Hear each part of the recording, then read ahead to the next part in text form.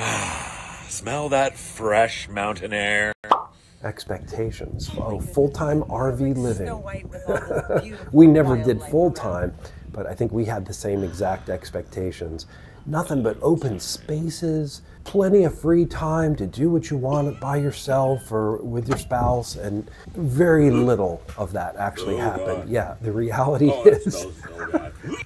The Blackwater tank reeks. It's awful. I know we camped one year up in New England, and my friend who lives up there said, you know, there's two seasons up here there's ski season and mosquito season. And we were there for mosquito season. Yeah, the uh, little plastic uh, liner between the rooms, between you and the kids. And then that's why we always camp near the bathroom, the campground bathroom, so we'd have at least two bathrooms for our family of four. Yeah, it doesn't always meet up to the expectations. If you pay $30 to camp someplace, you're getting your money's worth, that's for sure.